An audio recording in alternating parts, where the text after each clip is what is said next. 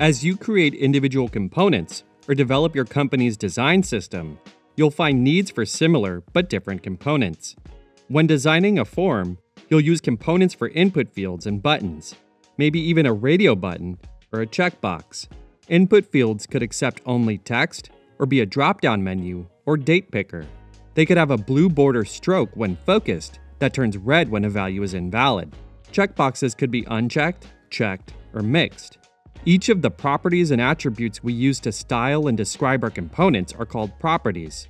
A component set is a collection of components, called variants, that all share their properties but have different combinations of values for those properties. Component sets can be one-dimensional, with only a single property with several values. Like in this example with the primary button component set that contains uniquely styled standard, hover, pressed, and disabled variants. Component sets can also be multidimensional with multiple properties, each with multiple values. Like if we had a collection of secondary buttons with the same property combinations as the primary button. The number of buttons can balloon quickly if each button has an option with no icon. When used on tablets or mobile, we may also need medium or small versions of our button. We can instantly double our components by adding dark mode. Without variants, finding the exact button you need can be a pain. All of these buttons are different, but we can also think of them as parts of a single whole, a component set. And instead of needing to search through dozens of buttons, we can just find a single button that contains all possible combinations. The way of structuring components also maps more closely to how they're implemented in code. If you already have a system of components named using the slash naming convention, we can click and drag to select all of the components and click Merge as Variants in the Properties panel to instantly convert them into a single component set. Just rename the labels of the various properties and you're good to go. If you belong to a professional team or a Figma organization, you can also publish your component set to the team library. This can dramatically reduce the number of components in the Assets panel and make it easier for you and your team to find the right component faster. Using a component set is as simple as creating an instance of one of the variants and customizing the values for each of the properties from the right sidebar. You can create component sets from scratch or merge existing components to convert them into a single component set.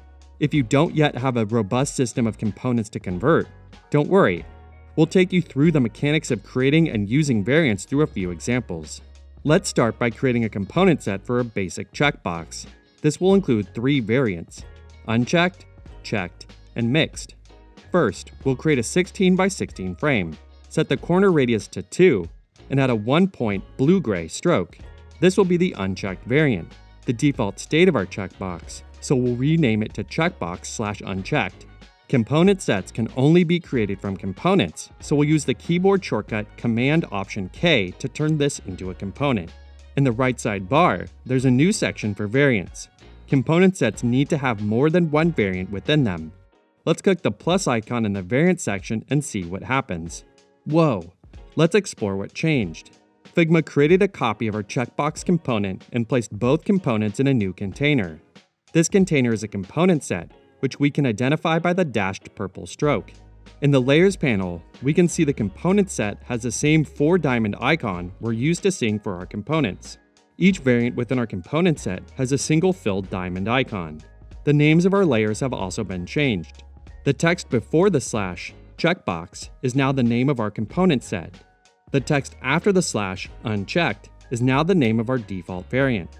The checkbox has a generic name followed by an ascending number. Variant 2. Layer naming is an important aspect of creating and managing variants. Unlike other layer names in Figma, which can mostly be arbitrary, layer names in a component set have a very specific syntax. This structure contains important information about each variant, including the properties and values associated with that variant. Let's take a closer look. Figma will generate properties for our variants based on the properties and values we associate with them. We'll select our unchecked variant and use the shortcut Command R to rename the layer to observe this. Figma has given this variant the name property equals unchecked. This is because the default property of variant has the value unchecked. At the moment, our variants only have one property. But what if we had 2, 3, or 12 properties? When there are multiple properties, Figma will separate each property using a comma. We'll show this later in the video. Now, Let's give our second variant a more descriptive name. We can avoid using the layer naming syntax in the Layers panel by renaming the value itself in the right side bar. Select the component set, and in the variant section, click the existing value to rename it. All our variants will use the same properties and values, but each variant needs to have a unique combination of them. If any variants have the same combination of values, like if we rename this to unchecked, Figma will alert us to the conflict. We want this variant to have a value of checked, so we'll update this and resolve this error. Our variants now have different, unique values for the same property. We can also rename properties to make them more descriptive. With the component set selected, we can rename this property to state. Let's make some changes to our checked variant to distinguish it from our unchecked variant. We can edit our variant directly within the component set. We'll add an 8x8 square inside of it and add a purple fill. This looks great. We've successfully created a component set with two variants. The variants share one property and each one has a unique value. If we select the component set, we can see the values we added in the right side bar. This is all we need to get started with our checkbox component set. We'll explore adding more properties and values to create multi-dimensional variants later. Let's try using our checkbox in our designs. We can access local components and components from other libraries by opening the Assets panel on the left side bar. If you're familiar with components, you might expect to see two components here, one for the unchecked state and another for checked. Component sets collapses all variants down into a single entry, making it easier to find the component we need. We'll drag an instance of our checkbox onto the canvas. If we want to use another variant of the checkbox, we can select it in the right side bar. It's not possible to create an instance of an entire component set. If we select the component set and try to duplicate it, we'll create a brand new component set. This won't always be a useful workflow, but it will speed up the process of creating some similar but unrelated component sets, like a set of radio buttons. Our radio button can only have two values, selected, or unselected. But our checkbox could have a third value for a mixed state. Let's create this third mixed variant for our checkbox. There are a few ways we could do this. We could select the component set, and in the canvas, we can click the plus icon inside the component set, or click the More icon in the right side bar and select Add New Variant. We want to use the checked variant as a starting point, so we'll take a third approach select the existing checked variant and duplicating it using Command D. We'll rename the value to mixed and make some adjustments to its appearance. All set.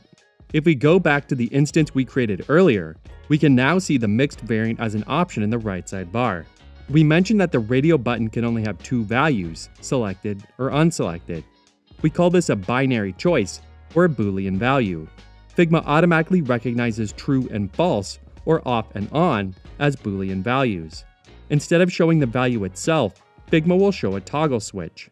We'll select the component set to view the existing values. We can then double click on each value to rename them as true and false. We can also rename our property to something that can be described using the same true slash false values. Click on the property in the right side bar to rename it to selected. If we create an instance of the radio button on the canvas, the drop-down menu to switch between variants is now a toggle switch. Awesome! So far, we've only built component sets that share a single property, but you can add as many properties and values as you need. The more multi-dimensional our component sets become, the more flexible and powerful they are to use. Our radio button currently has a selected property. Let's add another property to support both the active and inactive versions of our component. Select the component set, click the More icon in the right side bar, and select Add New Property. We'll name this property Active and hit Enter to confirm. Figma has added a new property to the sidebar as well as a default value. We want active to also be a binary choice, so we'll create another boolean value. Both our existing variants are active, so we'll double click on the default value and rename it to true. We'll show you how to add a new value for false in a minute, but first, we'll create the inactive variants of our radio button. If we duplicate our variants, Figma will add new variants in a single vertical line. But we want to organize variants on the canvas in a way that conveys their multidimensional nature. We can do this by creating our variants in a 2x2 grid. To arrange our variants in a grid, we'll select the component set and drag the right edge to resize it. Then, select our existing variants and duplicate them. Now, we have two pairs of identical variants. Remember the error we saw earlier? Here it is again. Let's remove this error by adding a different value for our new variants. We can add new values in the variant section of the right side bar. Click the arrow beside the active property, select Add New, and type False in the field. Next, we need to style our inactive radio buttons in a light blue-gray. Perfect. Now, we can use the two toggle switches to create any one of our four unique combinations of properties and values. We can select different values in the right side bar to change the variant we're using. But we can also use instance swapping to swap between component sets, just like we can with regular components that don't have any variants. Let's swap the instance of our radio button to the checkbox we made earlier. We'll select the instance and click the component name in the right side bar to open the instance swapping menu. After we select the checkbox, we can choose which variant we want to use. With our component sets created, we can publish them as a library for the rest of our team to use.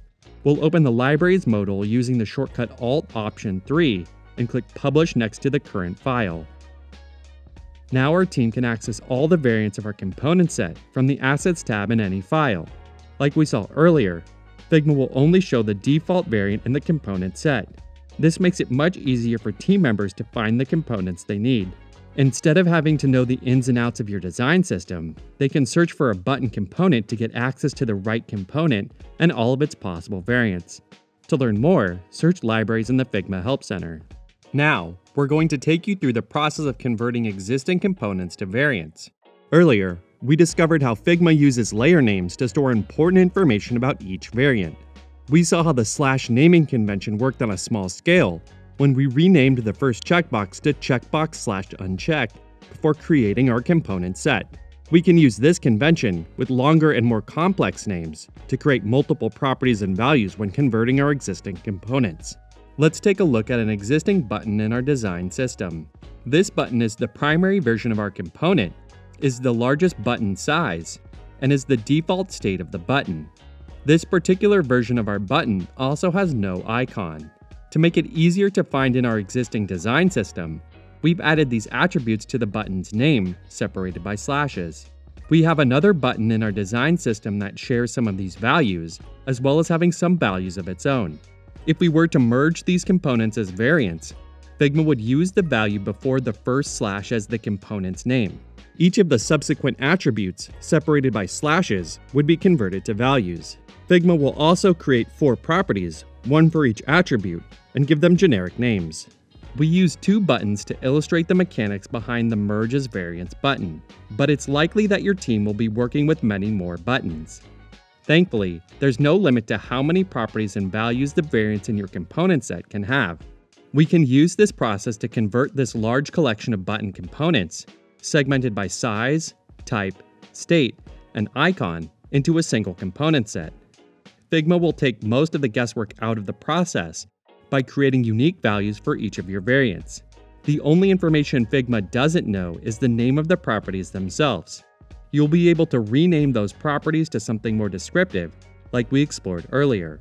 And if you find yourself configuring some properties more than others, you can even click and drag to reorder them from the most to least used. And just like that, you've combined 84 variants into a single component.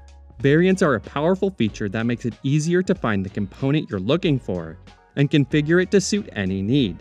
Variants also strengthen your company's design system by bringing your components closer to how they're represented in code. To learn more, search Variants in the Figma Help Center. Let us know how variants help your team in the comments, and subscribe to Figma on YouTube for the latest product and community news.